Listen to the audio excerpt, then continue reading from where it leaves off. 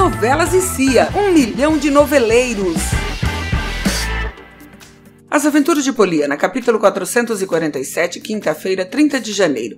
Ruth pede para João e Bento tocarem uma música juntos e fica emocionada.